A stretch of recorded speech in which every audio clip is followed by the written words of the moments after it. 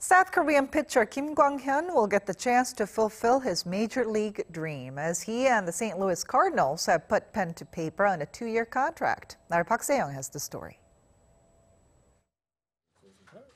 Pitcher Kim Kwang-hyun is joining the St. Louis Cardinals in the 2020 season. The Cardinals announced the signing of the 31-year-old left-hander on Tuesday and introduced him at a press conference at Busch Stadium. The two-year contract is reportedly worth 8 million US dollars. In 2019, his 12th season with the SK Wyverns in the KBO, Kim was 17-6 with a 2.51 ERA and 180 strikeouts.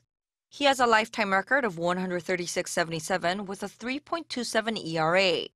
Kim was posted for Major League Baseball teams on December 5th, the second time he had been posted. The Cardinals feel their need for a left-hander in their rotation and make him just the second South Korean pitcher to don their red and white uniform after Oh Seung-hwan, who played for them between 2016 and 2017. Kim also becomes the fourth South Korean player to sign a major league deal via posting after Ryu Hyun-jin in 2012, Kang Jung-ho in 2015, and Park Byung-ho in 2016. Currently the only left-hander in the Cardinals rotation, Kim said during the press conference that the best scenario would be to be a starting pitcher, but stressed he's ready to take on any role for the team.